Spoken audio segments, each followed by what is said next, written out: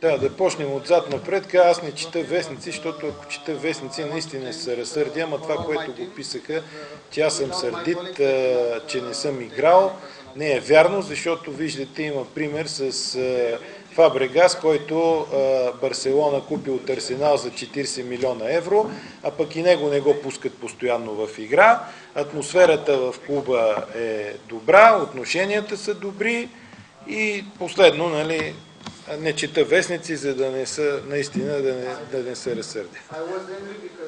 А, бях сърдит, защото съдията а, не...